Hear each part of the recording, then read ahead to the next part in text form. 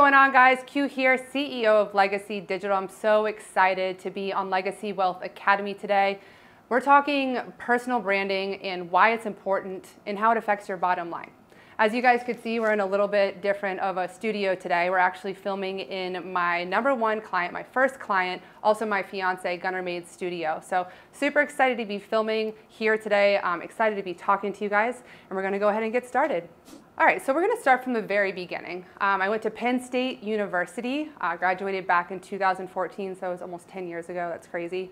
I studied hotel, restaurant, and institutional management. And once I graduated, I got an externship working on the hospitality leadership board, focusing on big data analytics in the hotel and the restaurant industry. So what does that mean?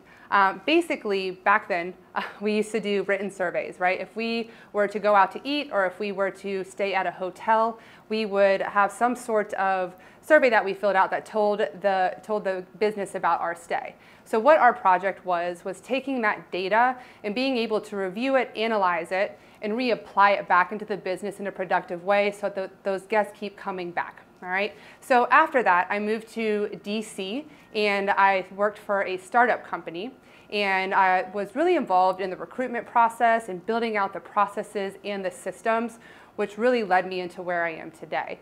So I moved to Charleston, South Carolina, and I started working for a fitness, health, and wellness magazine. And I was the assistant editor, but my main role was building the digital brand and the digital side of the magazine, right? So you have your ads that you put in the magazine, but we really wanted to focus on building our digital awareness, but also our clients' digital awareness. So I would go in to all these different fitness studios and health boutiques and brand them and come up with digital content that we would hire a videographer for, come in, film the content, and that they could use to post on their social platforms and we could cross promote on our platforms as well.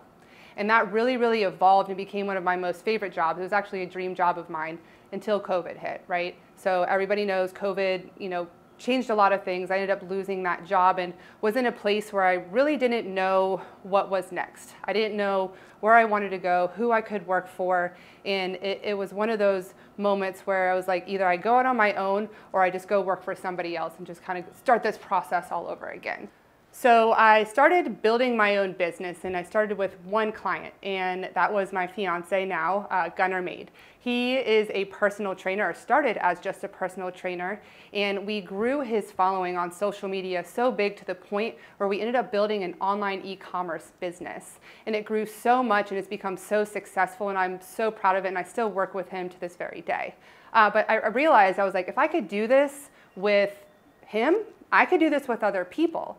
So that's when I started bringing on new clients, um, mainly in the health and wellness industry.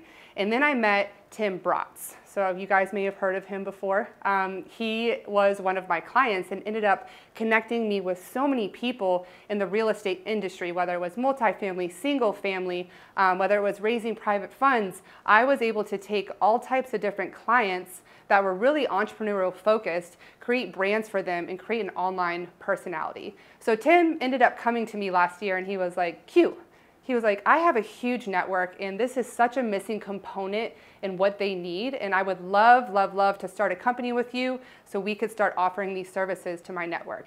And that's how Legacy Digital was born. We are a branding, social media content creation, and social media management company with a strong focus on how you inspire your clients, how you educate your clients, and most importantly, how you entertain your clients. So we're going to talk about the branding process today and why it's imperative to have a personal and business brand combined together to affect and increase your bottom line. Let's get started.